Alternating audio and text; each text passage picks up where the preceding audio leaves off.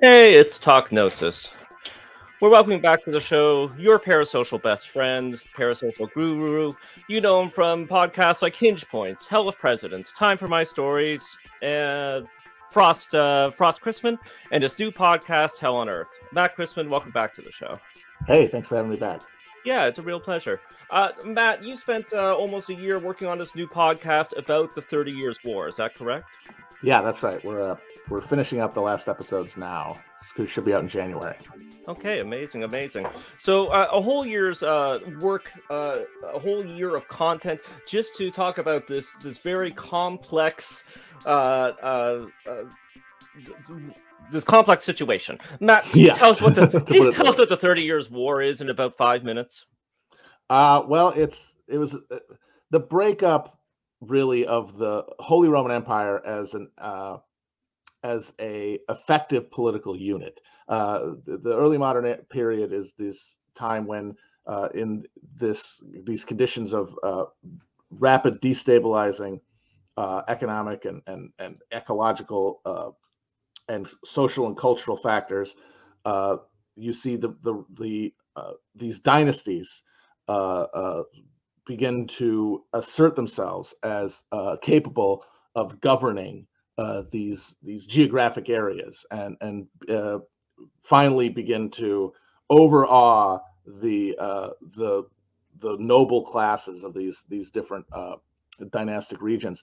Uh, and you see that happen in Spain and France and in, in England and also in the Holy Roman Empire.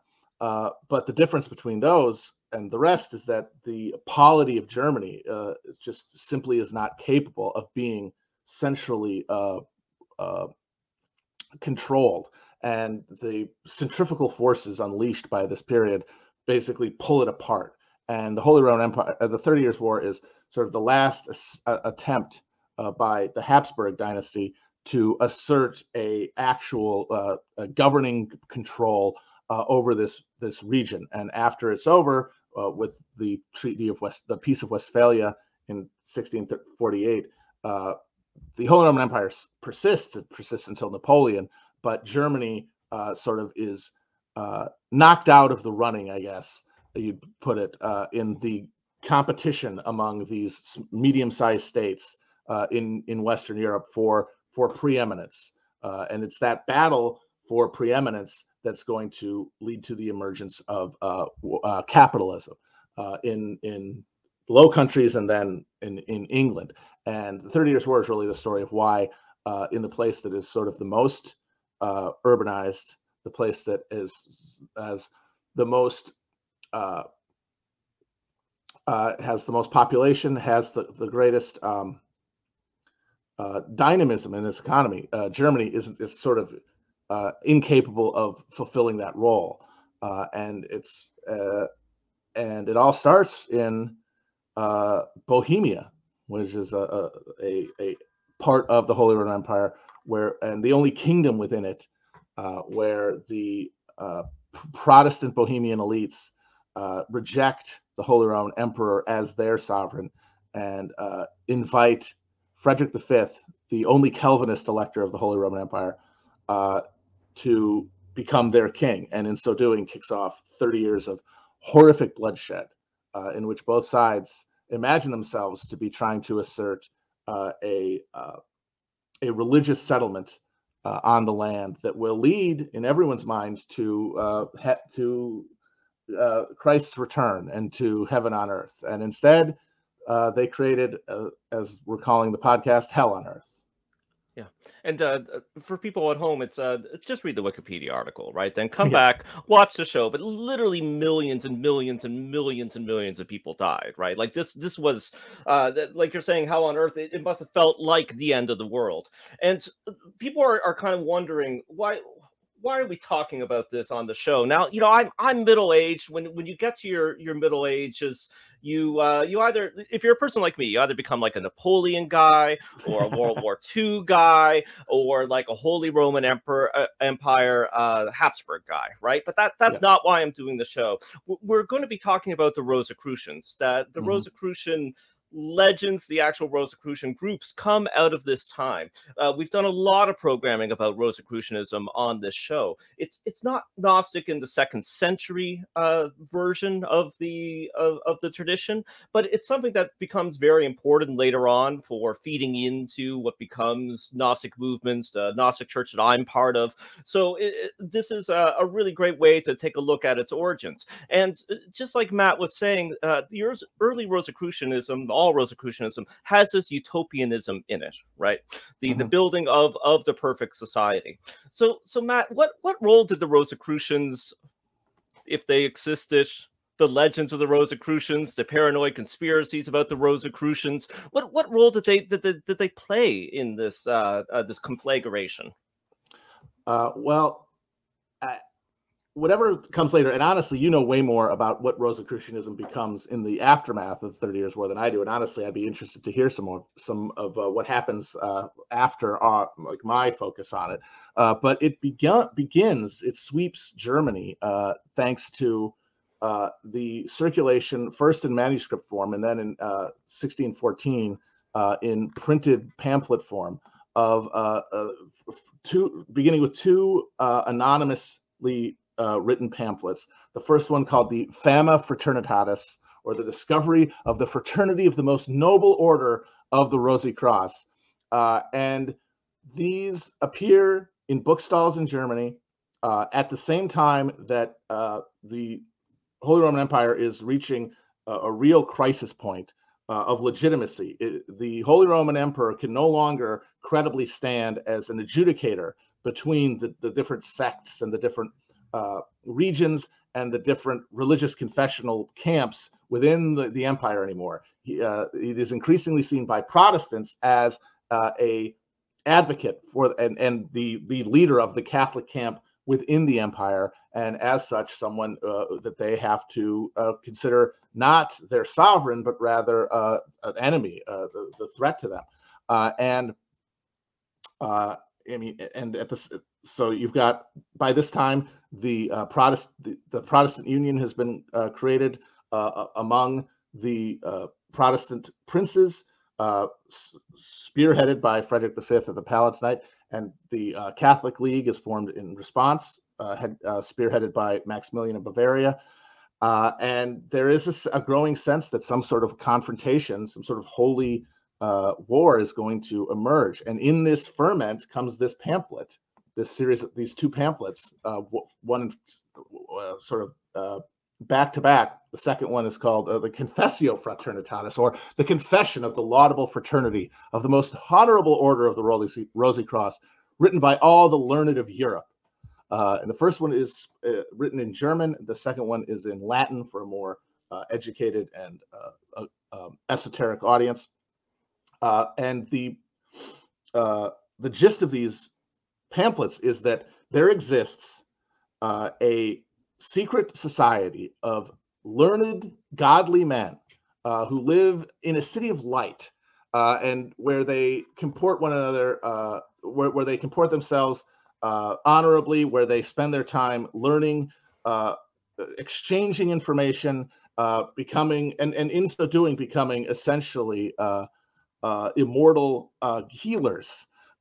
who also come and live among the regular people, among among the the ignorant masses, and uh, can offer them healing treatments, can offer them enlightenment, basically, uh, and that they are seeking through their experimentation and through their works to bring about uh, uh a this this this confrontation that we're talking about, and that and and the um, the emergence of a champion to sort of rid Europe of what was seen by the uh, Protestant, uh, the Protestants of the of the continent, uh, as the superstitious tyranny, uh, the the anti-Christian uh, uh, thuggery of, of the of the antichrist in Rome, the the the, the Pope.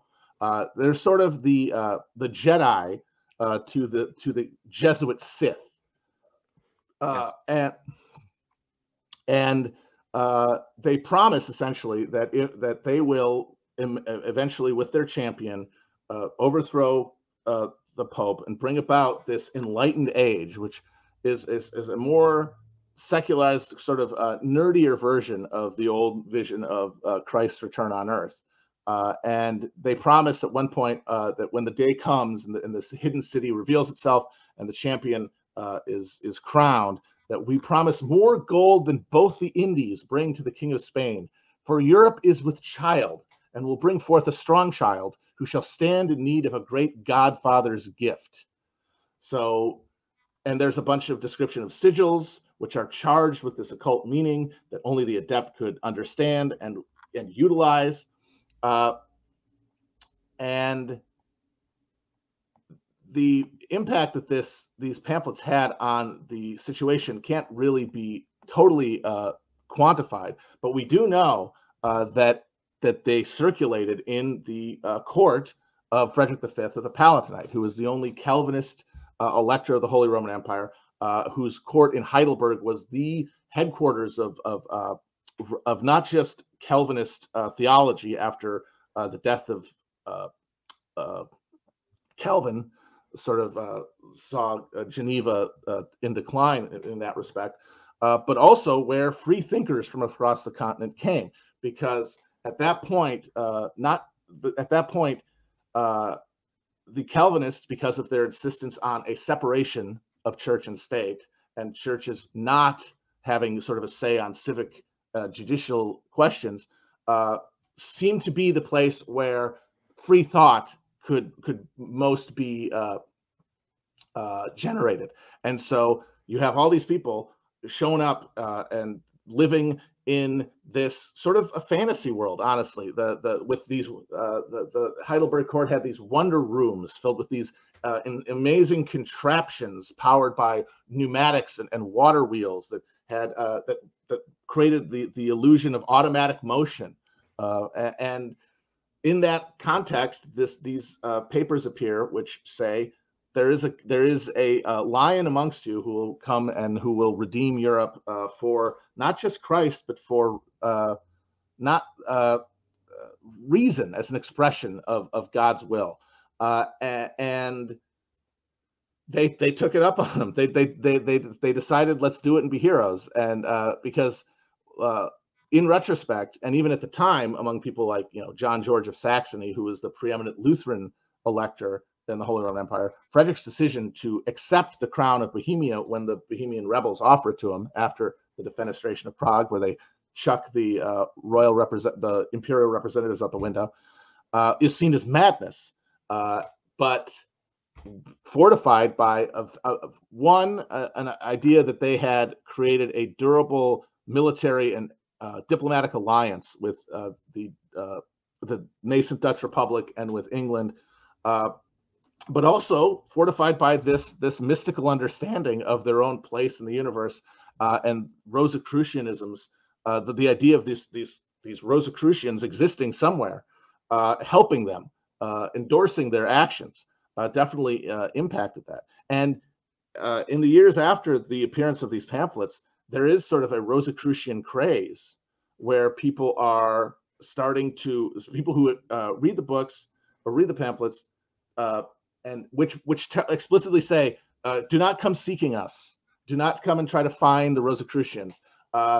Uh, they decide, well, okay, if they're not going to come to me, then I will come to them by embodying their ideas. And so people start creating their own little societies to uh, to pass information along each other and so, to emulate the, the model that the Rosicrucians uh, put in those pamphlets. And in France, for example, in the early 1620s, there's sort of a Rosicrucian panic, uh, and uh, there's there's this fear amongst the Catholic uh, majority that, that, that there's that this subversive group is somewhere w- within their midst.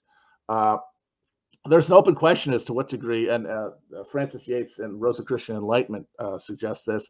There's an open question uh, as to what degree the entire Rosicrucian thing was not, in some respect, a uh, an intelligence operation uh, by by the court of James the I. through John Dee, who was in Bohemia around the same time that the Rosicrucian books are being written.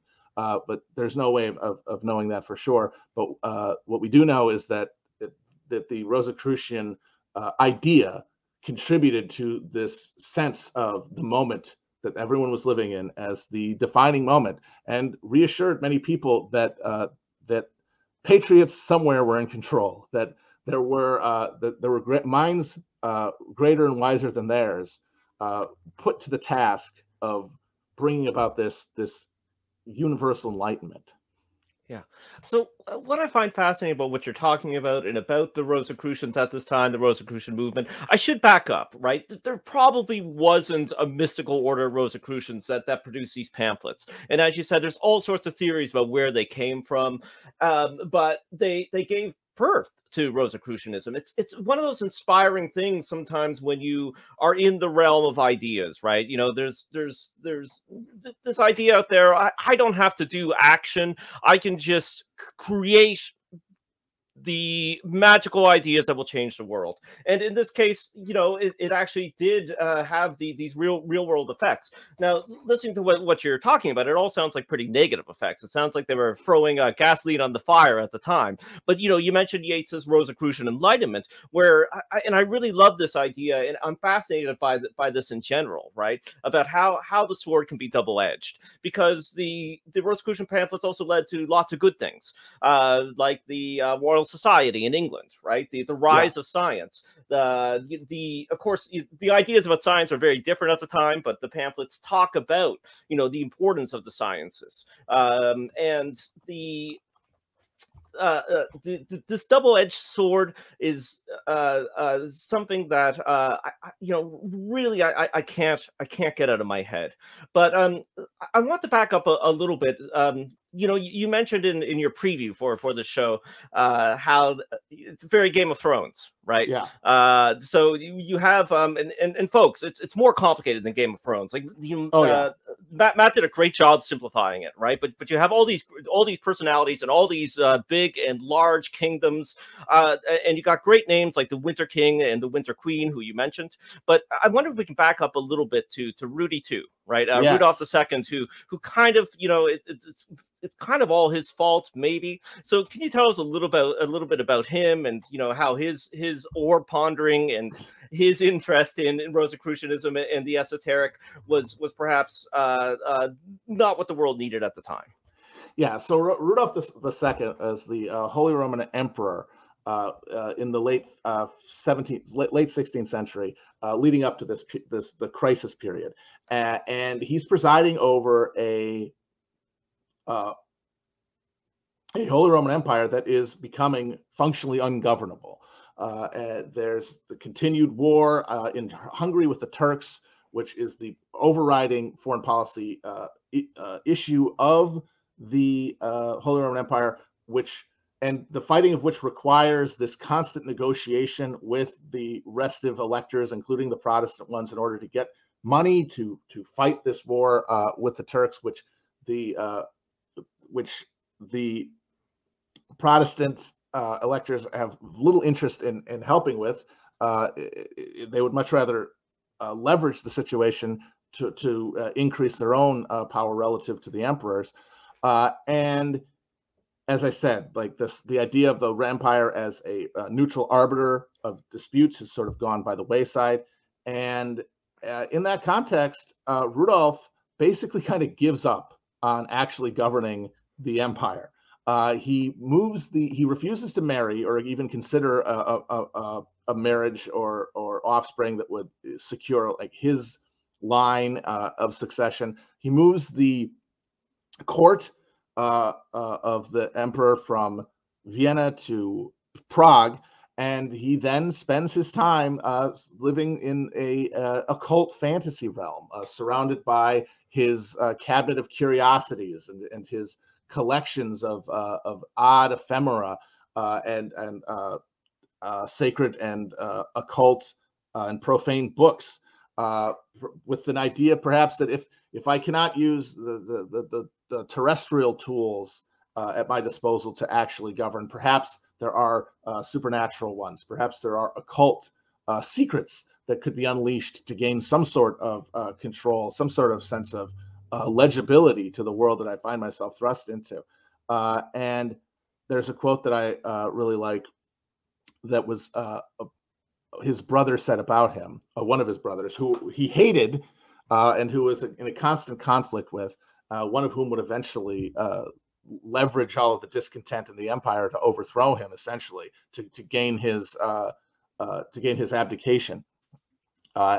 and it, one of his brothers said, "His Majesty is interested only in wizards, alchemists, kabbalists, and the like." Sparing no expense to find all kinds of treasures, learn secrets, and use scandalous ways of harming his enemies. He also has a whole library of magic books. He strives all the time to eliminate God completely so that he may in future serve a different master. And when you see this and you see like the Rosicrucians, uh, there is this this yearning for to transcend the limitations of the early modern world.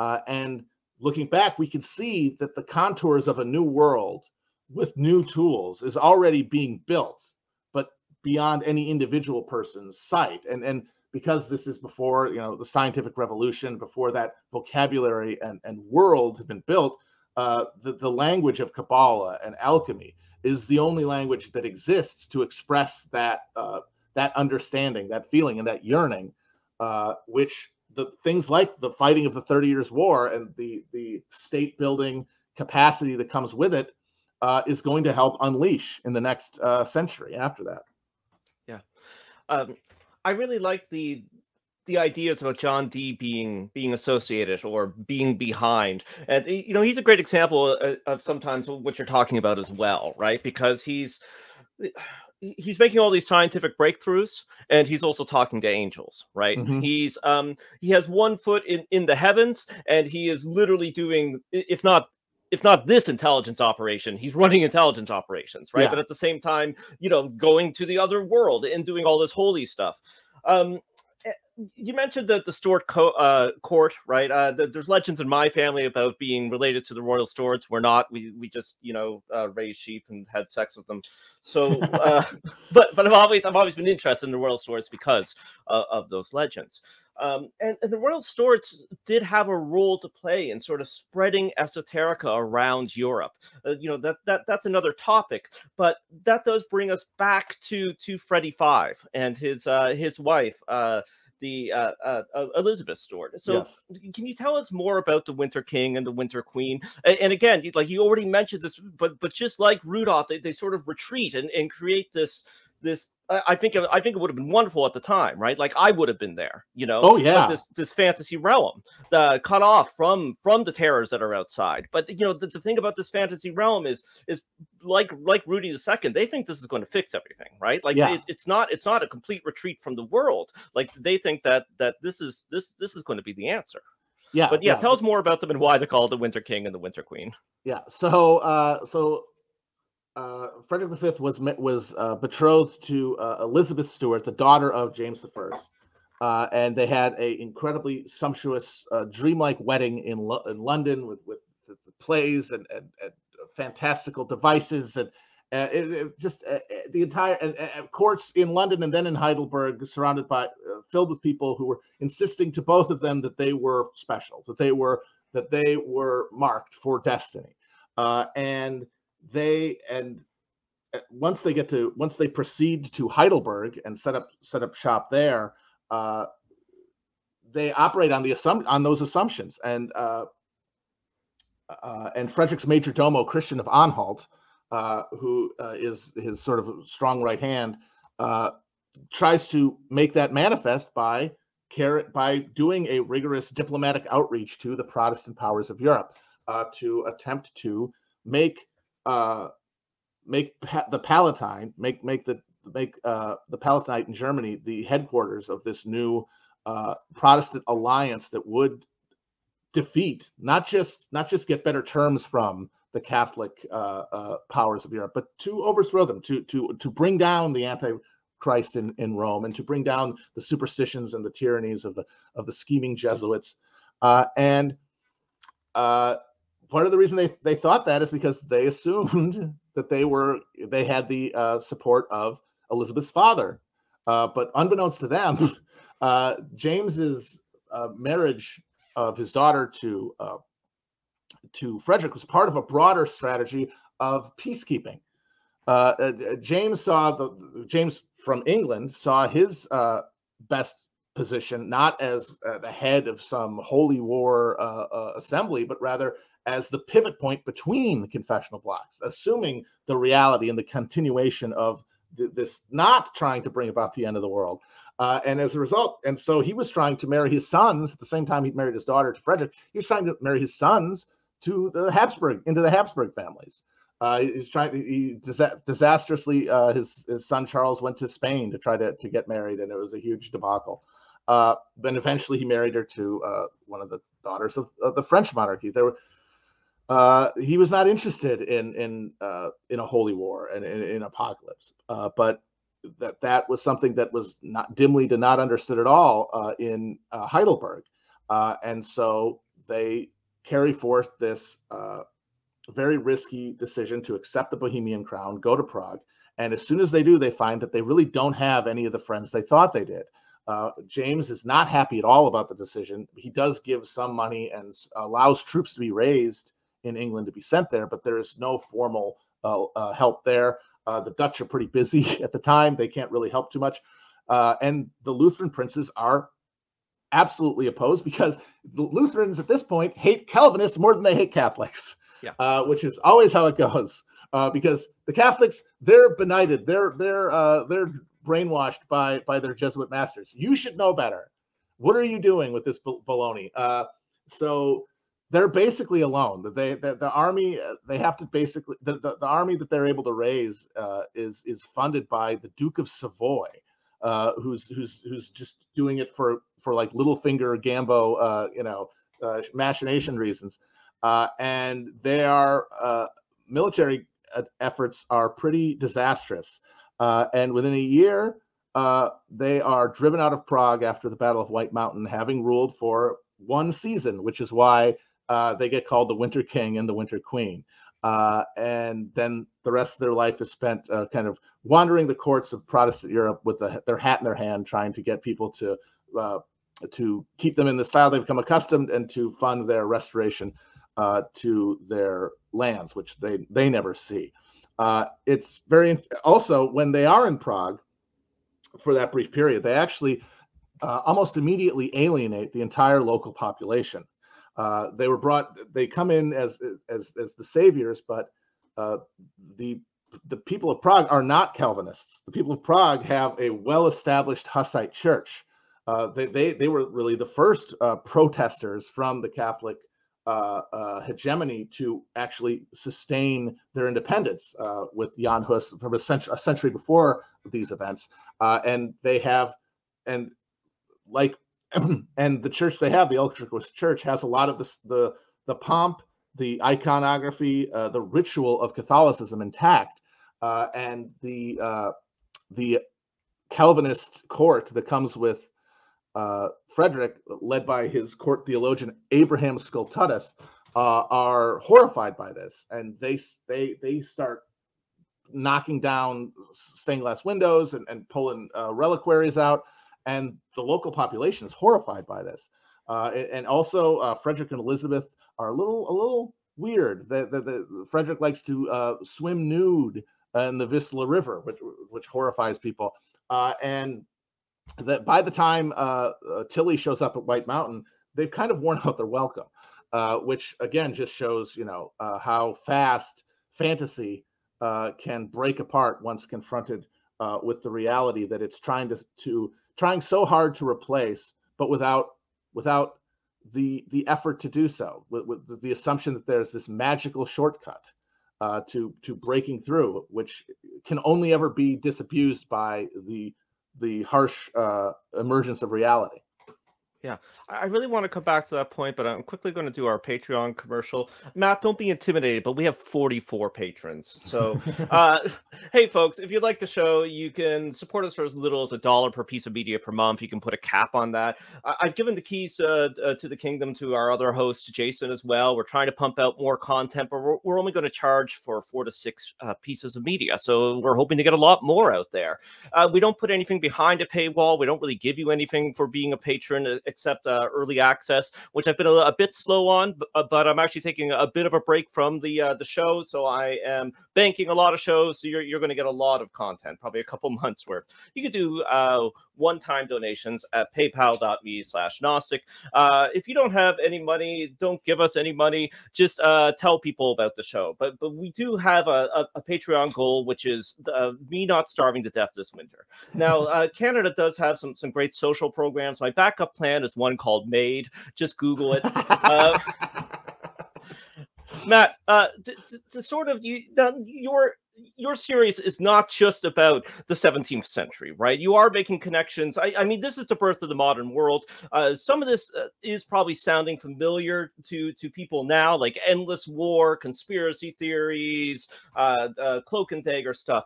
But before we really dive into that, utopianism. It's, it's something I think a lot about.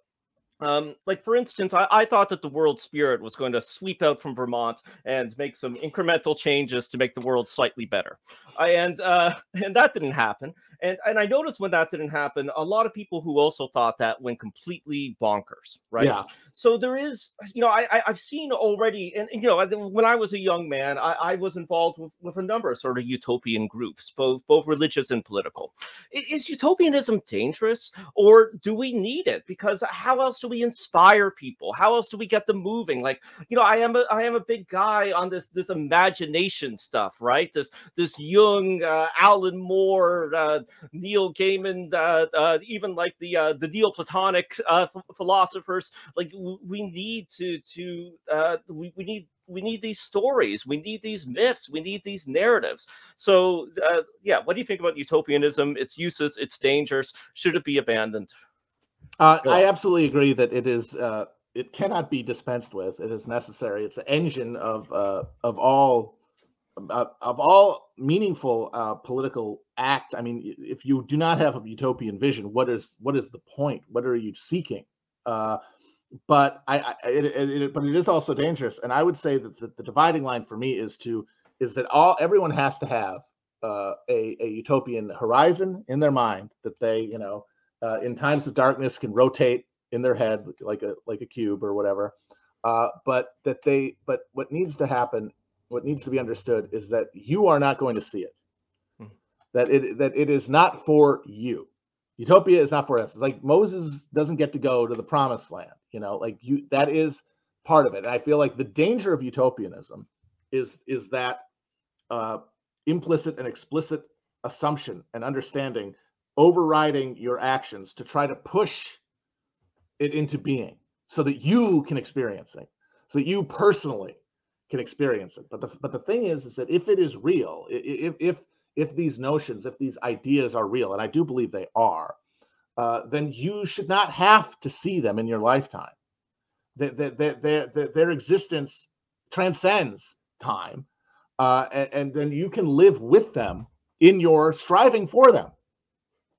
That is where it can live, is in the striving for them uh, the, the actual the actualization of this is in a world in a world to come. Like the the world really did end for these people in the 17th century, and not just the ones who died in, in the horror, but anyone who survived. They were birthing a world that within a few generations would be, uh, in many fundamental ways, un- unrecognizable. In a different psychic space, a different world was born but without anyone's F, without anyone knowing that's what they were doing, without anyone seeking it. They were seeking everything else except for the thing that emerged. And that is always going to be the case. And we have to, I think it is we to be responsible utopians, we have to accept that that whatever emerges uh, through our struggle and the struggles of people around us and people after us is going to be alien to us in a way that uh, means it, while it might be utopia eventually, it will not be our utopia. It will not be one that is legible uh, to to our experience because we are living in like the the, the we are living at the end of a way of life, of an understanding of the world, of, of a of a heuristic uh, that is ex- extinguishing itself, that is exhausting itself, uh, but and that will be will be replaced, uh, and that that is I think one of the things that helps me uh, get away from the the the, uh, the doomer mindset and the, the idea the the the black pill nonsense is is there is the re- the black pill idea comes from the recognition that this way of life is ending, but th- then uh, that's just nihilism unless it's paired with an understanding that, of course, something will come after, and it will be a development of what has come before. It will emerge from, but the people who are going to be struggling to build it uh, are going to be doing so in conditions that are totally uh, unfathomable to us and unimaginable to us. And that means that the, the world they're going to build is going to have uh, uh, truths embedded in it, un, uh, unconscious assumptions about the nature of reality uh, that that we would not be able to recognize if we saw them, uh, and, and that to, that to me is how to square the utopian circle to to keep a utopia in your heart and to try to seek to try to seek it in your life to try to find it through struggling towards it uh, but always with the understanding that the actual thing uh, if it emerges will be for others uh, in another time uh, and that that's not bad. I, I, think that that that our um, our hostility to that idea, our rejection of that idea, comes from our our selfishness, comes from our connection to the machine that we're you know trying to rail against. Like we we see its awfulness and we we seek to, to dismantle it, but we also are made by it. Uh, and our desire to, to make the utopia of our minds into the world around us in the face of the reality that we find ourselves in uh, is just a, it's it's that voice of of uh, of uh, Yaldabaoth. It's the it's the it's the Demiurge telling us, uh, no, it must be it must be me. It must be this consciousness, this conception, this world that is unremovable from it. Because if it's me, then it's this world. Because this world made me. I am inextricably linked from it. But to you have to acknowledge your own finitude, your own uh, uh, your own mortality uh, and the mortality of the system that birthed you uh, if you're going to truly uh, embrace the implications, the radical implications of the utopian horizon. Yeah, uh, and I think that's a I, I mean, you're using some Gnostic language here, but I think that is one of the central metaphors of Gnosticism.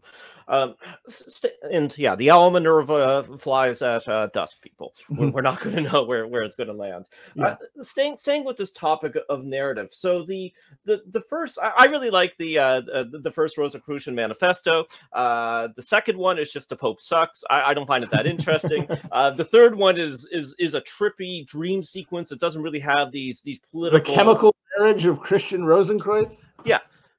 It's awesome. It's awesome. Yeah. It's it's great, right? I, I don't know what it means, but you can you yeah. can read it, you can decode it, you can dream about it. It's uh it, it's a lot of fun. It's an I Ching. It's it's a it's a it's a it's some sticks to throw and to look at and to and to in in the seeking of of order from that and the seeking of, of coherence from it, it's going to reveal itself. Uh and and then the the the the truth of your observation comes from your application of it.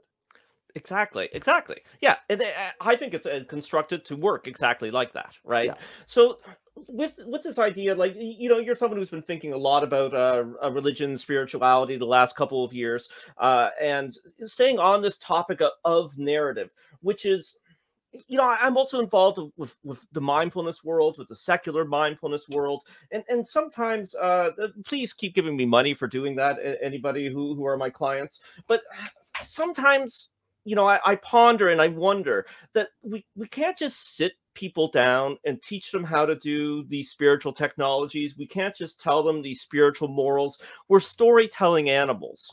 And it seems that we need these narratives and myths to, to fully interact and understand. I shouldn't say understand, to fully interact with the mystery. So, mm-hmm. like, you know, I, I, guess my question is like, when you start your cult, are, are you going to have a an origin story, right? Like, is there going to be aliens? Is there going to be a virgin birth? You know, I'm being facetious, but uh, like, what, what do you think about this. Like, do we do we need this narrative? Do we need this myth? Just like you're talking about uh, utopianism, if we want to explore the mystery of spirituality, the mystery of of religion, the the mystery of the bigger questions. Yeah, uh, I think you do. Uh, I, I I know that in my own mind, I can coming back to because yeah, I, I I can I I I try to resist the urge to narrativize, right? To just experience the the the, the sensation and, and, to, but you know, it, that that that moment is bracketed, you know, by narrative. It has to be, and so coming out of that experience, there is the instant narrativizing of it and the instant contextualizing of it. It's you cannot avoid that if you want to live among people and communicate with them and communicate with yourself. It is it is it's not optional. Uh, and uh, I, I, certainly under I, I, get the aliens. I get aliens as a, as as a as a metaphor, and it's one that speaks to me as someone who you know showed up just too late in time for for the this the supernatural understanding of of religion religious beings to to like uh to like angels you know? Like i can you know john Dee would have been into aliens if he was born in the 20th century. Absolutely. There, there's the, and so I'm stuck with I'm stuck with aliens, but uh, but not aliens as as time as uh, space travelers.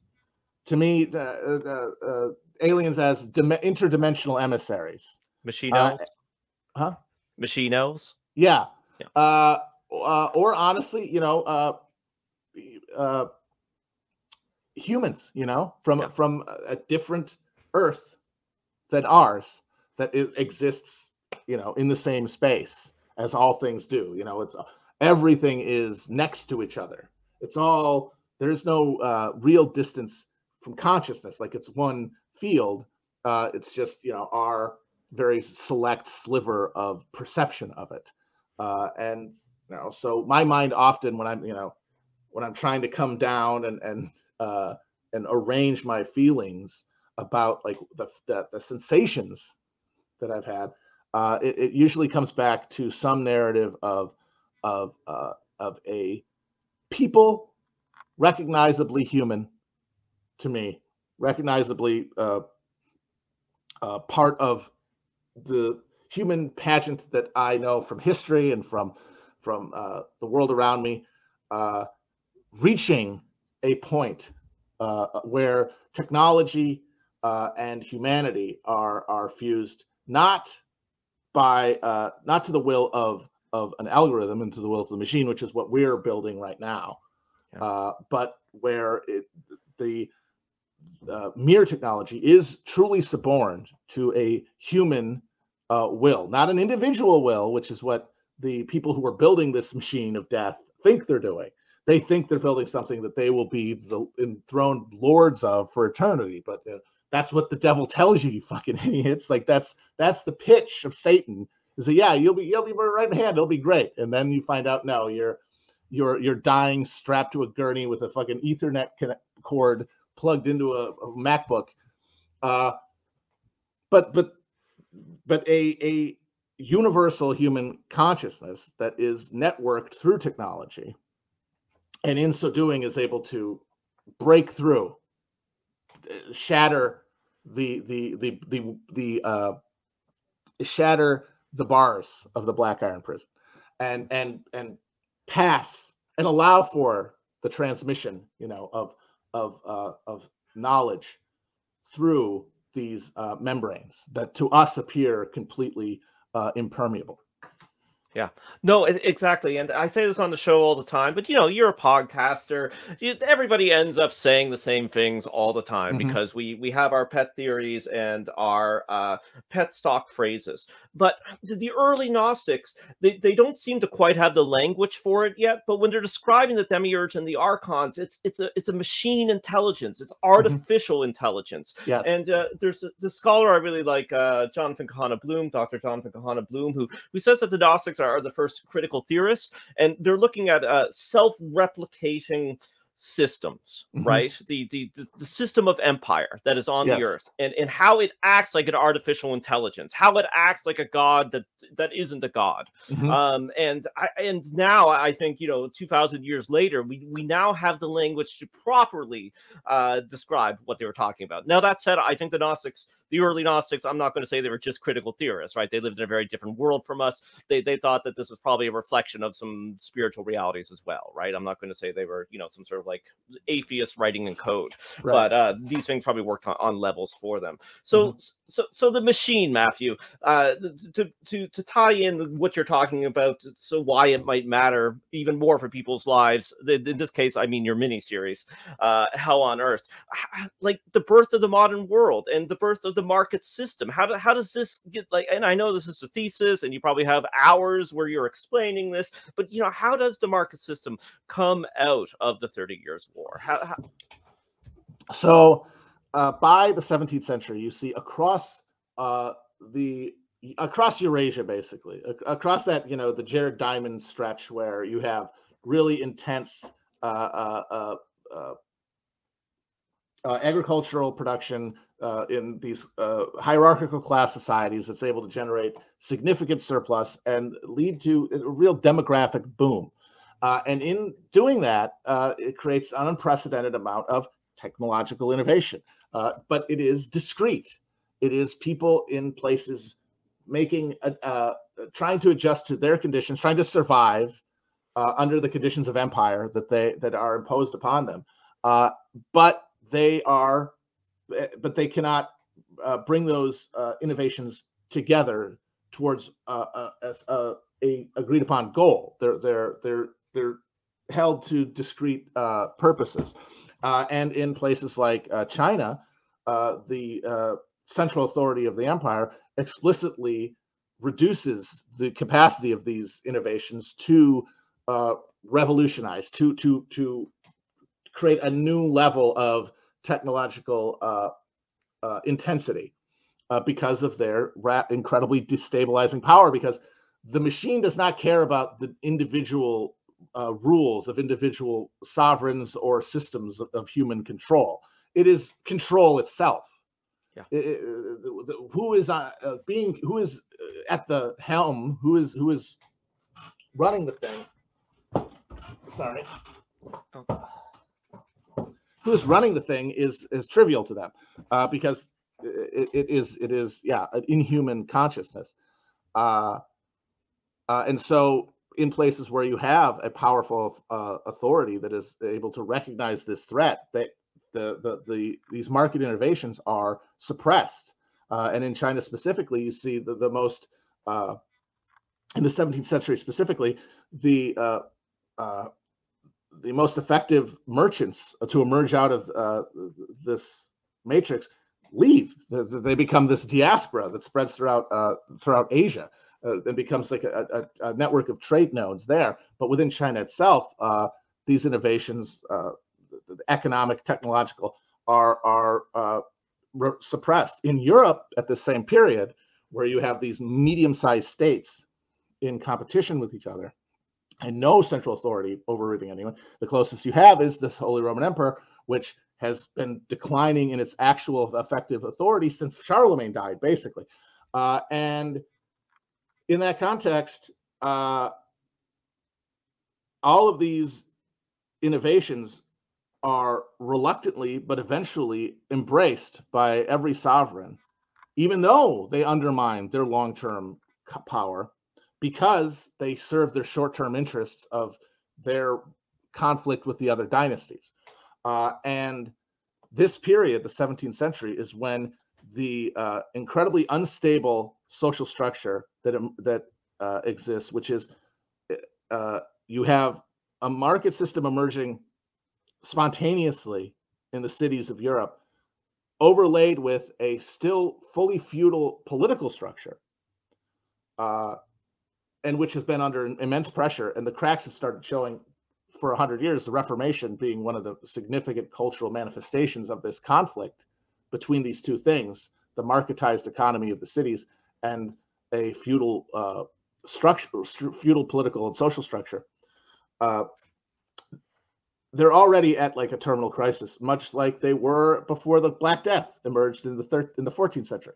And here, the accelerant that pushes things into conflagration and uh, eventually uh, the emergence of states like the Dutch Republic and England willing to wield all of these uh, developments along one specific line by empowering their middle class, their their uh, their merchant urban class, uh, is the Little Ice Age.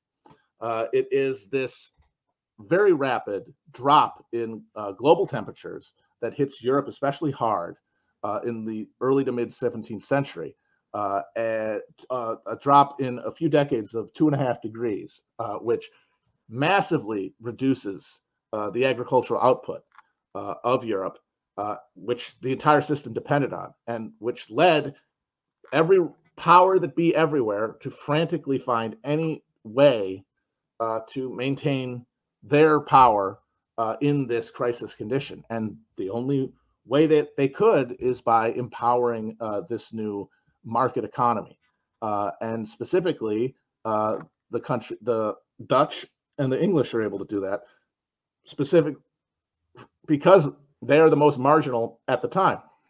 And it's the marginality that pushes them in that direction. Like the fact the fact that England was in the Middle Ages sort of a, a backwater of Europe, a, just a, a sheep or a wool exporting monoculture uh, is one of the, the main reasons that they become the, the, the hearth of capitalism is because they have a motivation to seek an advancement to prevent being annihilated by their opponents uh, that more secure uh, more fertile polities can't don't have. Uh, and it's that motivation that pushes them uh, to to bring together all of these innovations that emerge in places like you know the, the Italian city states of the of the medieval era and, and the German cities uh, of the Holy Roman Empire and, and and the Dutch Republic and bring them together to a package uh, that is able to compete uh, and outcompete uh, the the still sort of hybridized feudal systems that the rest of the continent still has. Yeah, you know, uh, sometimes I, I get some angry emails. You, you know, we, we are sponsored by a Gnostic church. We we can't, uh, you know, uh, tell people to to vote for a, uh, a, specific politicians, parties, agitate for any specific politics. But we, we I, I, think, regardless of where you are on the political spectrum, uh, you're probably getting a lot out of what what Matthew's talking about. And I think now, uh, both on the left and the right, particularly the more mainstream cultural left and right, there's this real idea that we're being ground up and being spit out of the machine. Right? You may have mm-hmm. some different definitions of what the machine is, but it it does seem to be a common idea right now. So I'm just I'm just just doing that little song and dance. We're talking about 17th century people. Uh, before when I talk about the, the two c words, but uh, this isn't a fully fleshed out idea. I think I'm going to write a paper on it. I'll send it to you. Uh, the, uh, the, the we don't get okay. So Jakob Böhme, uh, we don't get Jakob Böhme without the without Rosicrucianism and the Thirty Year War, right? So mm-hmm. he he's very influenced by the Rosicrucian uh, manifestos. He's very influenced by the utopian ideas that are floating around. He sees the chaos of the Thirty Years' War, and he believes that is going to end in the Age of the Lily and in the utopianism. So we don't get his output without that. Without Jakob Böhme, we don't get Hegel and dialectics, and without Hegel and dialectics, we don't get Marx and dialectical materialism. So uh, we see both the birth of, I, I would propose, capitalism and communism at this time. Mm-hmm. But but but uh, this is sort of embarrassing. So as I've mentioned before, and I know everybody out there is shocked. They, they see my youthful face and, and how hip and cool I am, and they're like, this this this, this young guy, he's bussing. But I, I, I am I am middle aged, and and you know lately I've been getting into that sort of like Zizek, uh, Todd McGowan, uh, Lacan uh, bullshit, right? Which yeah. is usually something that, that undergrads get into. And, and. Matt, I, I, am asking you to free associate, talk about psychoanalysis. Uh, maybe maybe you won't have an answer uh, for this, but for a long time we've known that there's there's strong connections between between Protestantism and the market system and the way we act now, right? Mm-hmm. So, uh, for instance, you know, when you're to work is godly in, in under Calvinism, mm-hmm. and a lot of people who are quote unquote no longer religious, they they uh, they feel guilty when they're not working all the time, right? So there's a great yeah. example. But you know, I, I, propose that it goes deeper. That, that we have a, a religious relationship to the market system in an even deeper way, which is the, the commodity form right? Mm-hmm. It, it is we have a religious relationship specifically to the commodity form. Absolutely. Mark Marx talks about this, so it's not it's not the greatest of insights. But I, I, suspect that it is tied up with Protestantism, and I suspect that it its origins are here right in the 30 years war. So mm-hmm. like why the what do you think the link is between this chaos protestantism and our our perhaps unconscious religious relationship to the commodity form? Do, do you have any speculation about that? Yeah uh the the the the protestant reformation to me is in part a psychological uh recognition that the marketized world that people were living in uh, could not sustain the uh, god of of, uh, of feudalism, who was a god uh, of ritual, who was a, was a public god, a god affirmed by every structure of of existence. The, the, the church, the, the the the princes, the everyone was on the same page about a God who was manifest in things like the the Eucharist. Like you you get enough Christians in a room together, and God shows up in a piece of bread. Like that that what could be sustained in in feudalism at the pace, the rural pace of feudal life, but the rapidly increased speed and of life, the increased uh, necessity of treating, if you're going to be a, a, merchant, if you're going to live uh, uh, uh, in the market, an increased need to treat others as strangers, as as aliens to you, not as brothers in Christ. Like you, they might be theoretically, but that you cannot treat them that way or else you lose your shirt. So you have to treat them as strangers. You have to treat them as people who you can take advantage of, which is something that medieval church understood was deeply uh, undermining to their authority. That's why they said, no, let the Jews do that. Let Jews lend money. And then once in a while, if there's a bad enough harvest, we'll go and kill some of them and feel better about ourselves. And we get to keep our understanding of God and we get to keep the real presence of the Eucharist. Uh, and the, the necessity of, of this marketized society uh, to to take advantage means that you you can't live that way anymore. Which means you get enough Christians in a room together, and God is gone. God, the, the, the bread is just bread now. Uh, the, and if that's the case, where does God go? And God goes into your mind. God God becomes functionally you. Yeah. That's the thing. Is that God is a projection of your own mind. The, the, social God of, Christ, of, of medieval Catholicism is, is replicated in social ritual. It is something beyond you.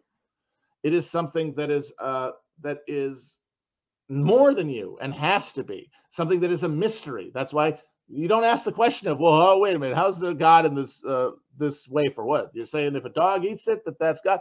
Those kind of questions don't emerge because the totality of life pushes them out. They, they would not occur, but it is the isolation, it is the solitude of, of, of market life that that banishes that idea that that that banishes our social faith and demands a rational and a reasoned understanding of God, uh, which then becomes the fixation of these people. It's it's very like you look at Luther and Calvin.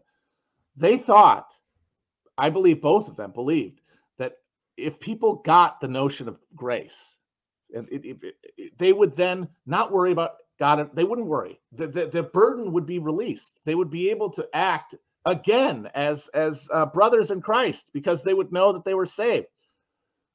But if you're living isolated, if you are living in uh, competition, if you are living th- this new life in this new sterile market world, uh, then all you end up thinking is how much, how much, how unworthy you are of salvation.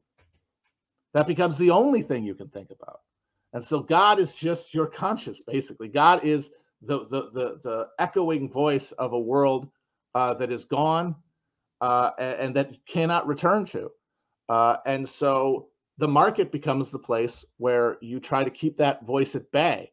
Uh, and uh, Calvinism specifically uh, becomes a way to replace uh, the comfort uh, of salvation that came from living in a universal church because in medieval Catholicism, basically nobody thought they were going to hell. Yeah. There, hell is for witches and Jews. You go to purgatory, it doesn't sound great, but hey, if you if you have enough friends and family, if you live your life well enough, they're going to be throwing, they're going to be paying priests to do services for you. They're going to be getting, yeah. uh, getting, uh, they're going to look at uh, the Pope's fingernail. That they're going to get you out. They're going to spring you. It's a chain of responsibility that you're part of. I'll get my grandpa out, out, out and he'll get me out, and my kids will get me out, and then I get to go to heaven. That's gone. There is just the saved and the damned who can never be redeemed, who can never be uh, bought out. No intercession will say. Uh, and who can that be? If, if you accept predestination, that the logic, the ironclad logic of Calvinism, uh, then how can you know? And the only answer becomes those who God favors in life. And God's favors are bestowed by the market. Yeah. And yeah. so that's the world we still live in. And like the most secular liberal in America who has no never believed in God for a minute of his life, who who for, for like by the time he was six, it's like God, uh, methinks not. Still operates from that under assumption, from that belief, because yeah. if this is the only world, then then advancing within it and getting the world's uh, uh, benefits, uh, get, uh, advancing in the market, succeeding through work is the only value. It still is. It's just, uh, but there is this other side, like uh, uh, this moment the, the Reformation and the time that comes later creates, you know, uh, this Calvinist morality that, that becomes the mindset of capitalism to this day. But it also creates the Anabaptists.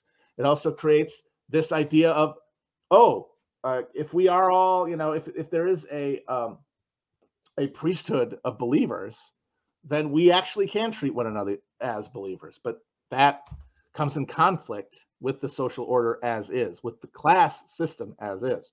Uh, and that is why I think you really do have to look at the emergence of uh, socialism in the 19th century as the secularized continuation of that that note, which starts with the Gnostics, that yes. goes through all of Christianity, uh, which runs, which is created by uh, Christianity as a uh, artifact of class rule, but which uh, challenges it and which tries to uh, overcome it.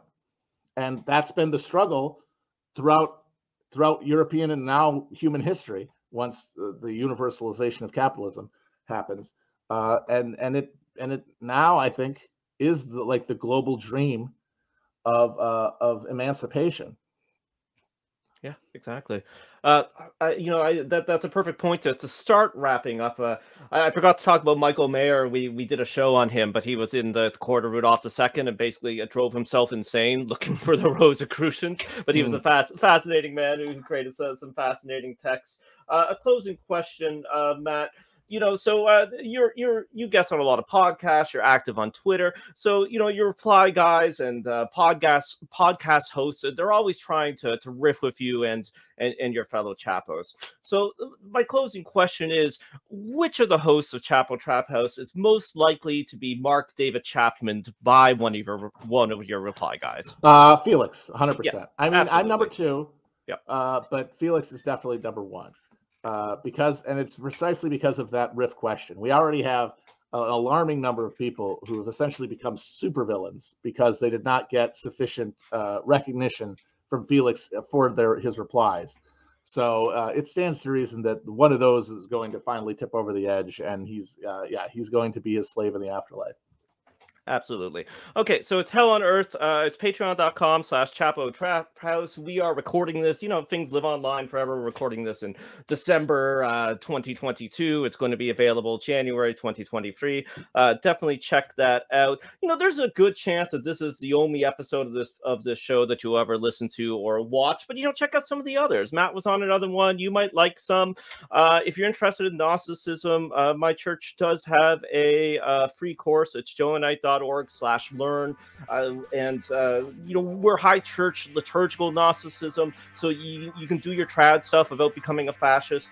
Uh, the free course does kind of sound a little Scientology, but it's it's it's it's an online course. It's fun. It's great. Uh, check it out. There's no uh, e meter. Yes, that's right. That's right. Yeah, we we, we will send you a free e-meter. Um, and uh, you know that's uh, that's it. Thanks again, Matt. Thank you. Okay, bye everyone.